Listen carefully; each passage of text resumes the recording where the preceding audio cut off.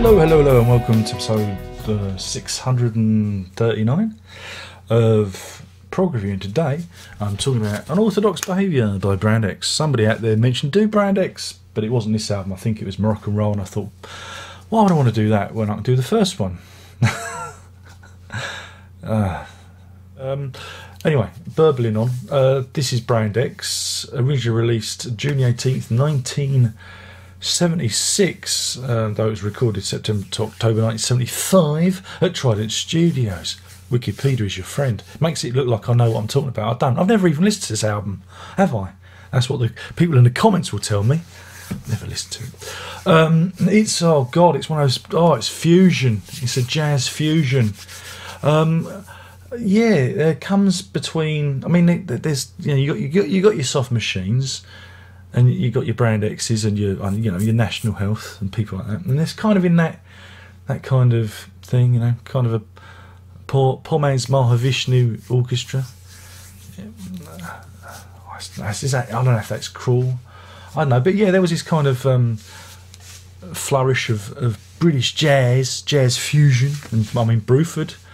Again, he, I think he played tambourine with Brand X for about ten minutes, didn't he? At one point, um, and I mean he had his Bruford projects and albums out at the same time, so similar kind of vibe, similar similar thing. Um, but yeah, of course, the big big the big draw, the big draw is that some bloke called Phil Collins is is, is in this band, and um, yeah, but we also get some interesting um, stuff from John Goodsall, who plays the guitar. Again, if you like, if you like, um, can I compare it to Holdsworth? Am I being lazy? Yeah, maybe I'm being lazy, but he's the he's the Holdsworth of the group, uh, with uh, Robin Lumley doing the keyboard section, and the amazing Percy Jones on bass and yeah, Percy Jones is where it's at. He's an incredible bass player, and that's what that's what I like from the group is the the, the fretless basses and, and whatnot of, of Percy Jones. Um, what do I think of this album? It's not my favourite Brand X album. That will always and forever be product because that's a bit more accessible. But um, yeah, I mean, I remember getting these on vinyl back back in the day because you can pick these up for I think I got for about three twenty five each. That's what. That's how cheap it was. This and um, Moroccan roll and product. Got them all together, and um, yeah, I mean, yeah, it's not not not bad album. You got to love your fusion. You got to love your jazz. You know, you got you got to love the love your jazz uh, to like this.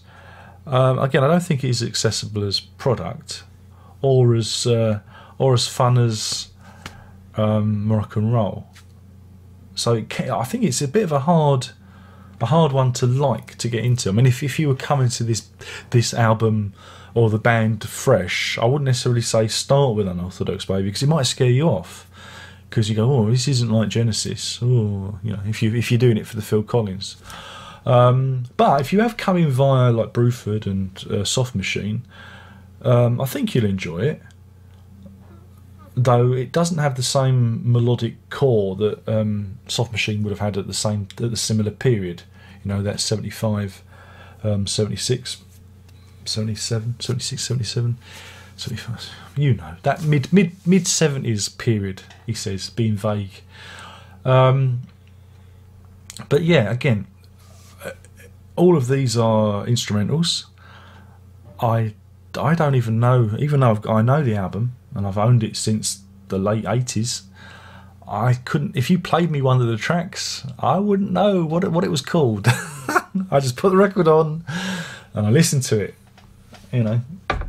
Anyway, yeah, this is the record by the way. Let's let's let's do let's let's waste some time. That's what it looks like. Oh look, there's a man, and this I think this is it. Hipgnosis did the did, did Hipgnosis do the sleeve? Uh, I don't know. I, I do have. This is a this is an early early pressing. I got off the. I did have this, and then I sold it. I traded it. I got one of these ones with the the, the Mad Hatter thing. Um, uh, because my one, Oh, it's all falling on the floor. Um, amateur, amateur hour. Um, my one didn't have this, which is the inner bag um, thing. It's not an inner bag. It's a. It's a. Mm, you can smell the damp. Whoever owned this stored it in the in the garage or the shed. Um, I still got the smell of damp out of it. I've had it for a few years now. Um, I didn't didn't have that. So when I bought it, it was completely mysterious. All I had was like the song titles. Uh, you know, what you see what you see on the back. There was none of that. Oh no, none of that. Don't get any of that. Because they do that sometimes with records. When they repress them and reissue them, you don't get all the extra gubbins. And so you can be sometimes left a bit high and dry. That's the good thing about CDs and CD reissues is they do include they do include you know all the personnel and the little liner notes. That's what I was looking for. Liner it's the liner notes.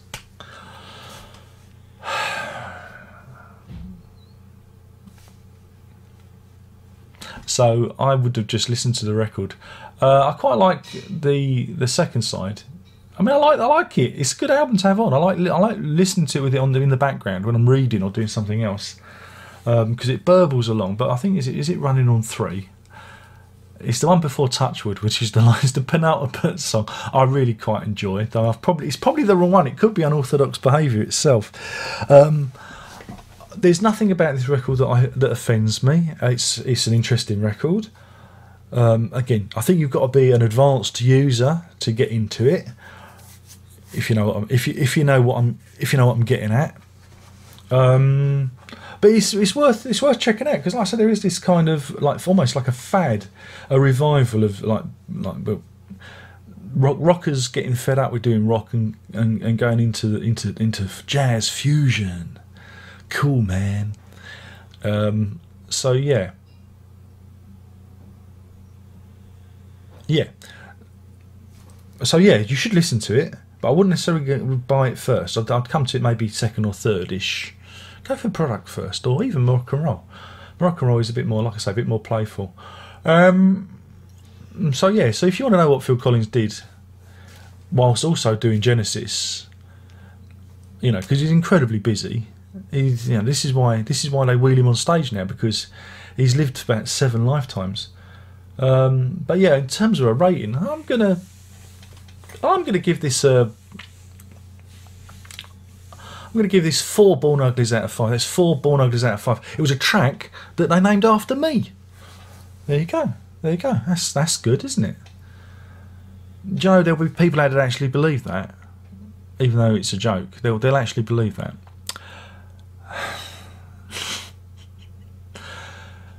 Oh, any interest in engagement, don't forget to thumbs up or down this video. It's all the same.